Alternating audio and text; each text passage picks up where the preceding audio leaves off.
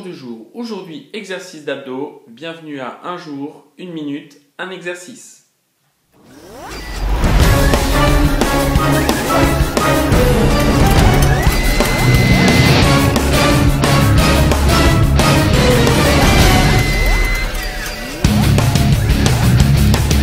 Alors, je me trouve assis et là je me dis mais qu'est-ce que je peux faire? Eh bien un exercice d'abdos justement.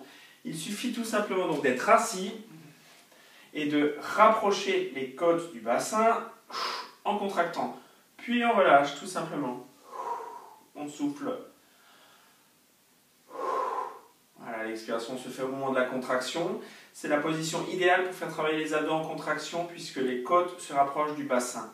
Et ainsi les muscles en fait se rétrécissent et c'est une contraction. Je vous invite même à faire cela dans votre voiture. Voilà, pour aujourd'hui le jour est passé. Et bien demain, nous ferons un exercice pour les jambes. Cherchons l'affinement des jambes, le renforcement musculaire au niveau des jambes. Bonne journée, à demain